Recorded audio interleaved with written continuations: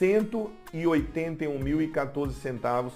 Isso corresponde a 1,5% do novo limite do MEI proposto. Eu até anotei aqui, o limite é, anual ele hoje é 81 mil e nós temos uma proposta de 144.912 anual, o que dá R$ 12.076 por mês. Essa nova proposta aqui que nós temos uh, para o microempreendedor individual agora em 2023. Então o fórum né, da micro pequena empresa ali, eles fizeram né, uma proposta para alteração a partir de janeiro agora do aumento do limite do MEI para R$ 144.900. Uma proposta interessante e justa, tendo em vista que o limite do microempreendedor individual já está muitos anos sem o aumento.